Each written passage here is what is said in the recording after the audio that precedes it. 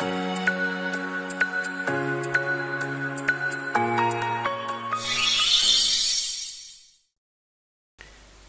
い、こんにちは、レトスの小野です。2月7日の3問に入ります。普通抵当権でも、値抵当権でも、設定契約を締結するためには、非担保債権を特定する必要がある、丸か×かという問題です。考えたい方は動画一旦ストップしていただいて、この動画の下の概要欄から問題文ご確認ください。で、答えは、これ×ですね。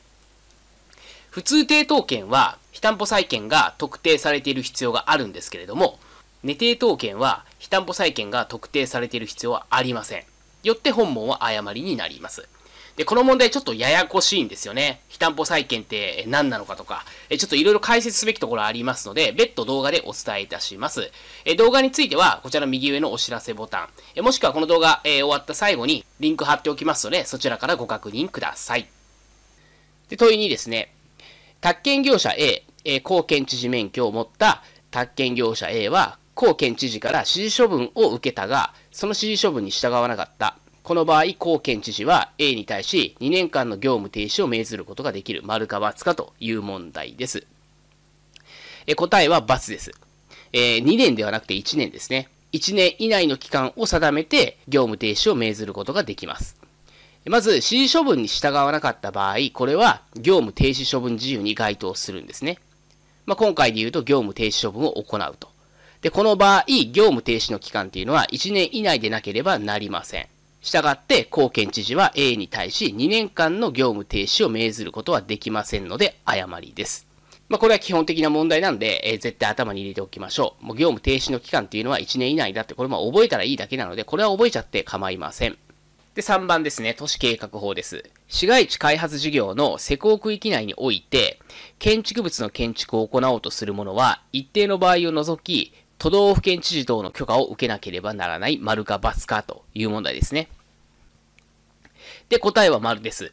まず、市街地開発事業ってどんなものかっていうと、もう簡単に言ったらですね、もう公共事業って思っていただいて構わないです。で、この都市計画事業も一つのね、公共事業なので、もう公共事業といったイメージでも問題ないです。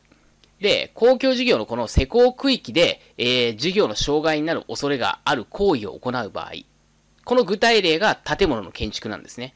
これ事業の施工の恐れになりますよね。公共事業を行っていくっていうのに建物を建てたりしたら、その土地に建物を建てたりしたら邪魔じゃないですか。事業の障害になりますよね。そのような行為を行う場合は、知事の許可が原則必要になってくるんですね。だから、丸です。で、ポイントっていうのは実はこれ3つあるんですね。で、無料のメルマガ、まあ、今回の無料の動画ですね。では2つお伝えいたします。まず1つ目ですね。都市計画事業の1つとして、市街地開発事業があるんだということです。これ先ほどお伝えした内容ですね。都市計画事業っていうのはいくつかあるんですよ。具体的な内容が。その一つに市街地開発事業があるんだということです。で、二つ目、市街地開発事業の施工区域内で一定の行為を行うもの。この一定の行為っていうのは今回の問題文にもある通り、建物を建てたりする行為ですね。そのようなことを行う人っていうのは原則知事の許可が必要なんだよ。これも今回の問題文の内容ですね。で、今回の問題についてはこの2つだけでも解けますので、最低限頭に入れておいてください。で、もう一つのポイントについては、え個別指導でお伝えさせていただきますので、よろしくお願いいたします。で、まだチャンネル登録していない方は、この動画の下のチャンネル登録ボタン、ぜひですね、えクリックしていただいて、チャンネル登録していただければと思います。そして、問い1でお伝えした、普通抵当権と値抵当権の非担保債権の違いについては、真ん中の動画ご覧いただければと思います。今日も最後まで動画をご覧いただきましてありがとうございました。合格目指して一緒に頑張っていきましょう。レトスの小野でした。